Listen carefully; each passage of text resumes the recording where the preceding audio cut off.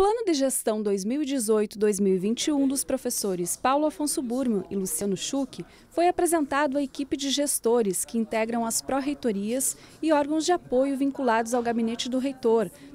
A elaboração do documento foi conduzida desde fevereiro deste ano pela Pró-Reitoria de Planejamento, de modo colaborativo, envolvendo as equipes das demais pró-reitorias e órgãos de apoio. A novidade do plano em relação aos demais já apresentados na UFSM é que ele apresentará um conjunto de indicadores e metas que poderão ser mensuráveis ao final do período de vigência. O cenário de dificuldades que nós vivemos exige que, a universidade se reestruture.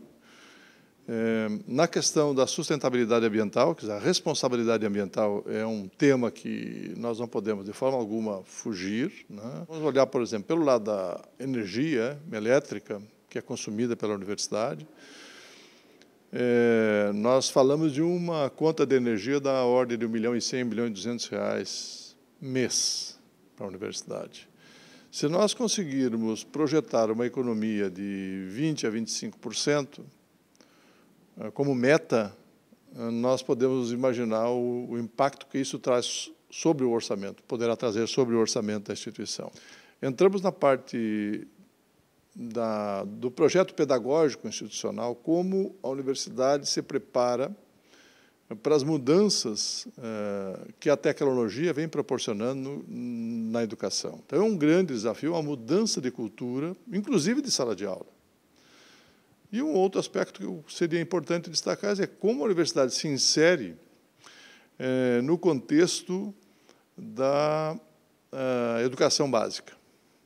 Né? Nós somos educação superior, mas pela nossa característica de formação de professores e pela nossa relação com os estudantes que vêm da educação básica, é natural que nós estejamos é, com um olhar cada vez mais atento sobre esse processo de educação básica. A construção do plano de gestão teve como referência os sete desafios traçados pelo Plano de Desenvolvimento Institucional, o PDI, para o período de 2016 a 2026. Internacionalização, educação inovadora e transformadora com excelência acadêmica, inclusão social, inovação, geração de conhecimento e transferência de tecnologia, modernização e desenvolvimento organizacional, desenvolvimento local, regional e nacional e gestão ambiental. Após a aprovação dos presentes, o plano agora será submetido à apreciação do Conselho Universitário. Não é só a gestão que faz, e sim é todos os nossos gestores das, das unidades também.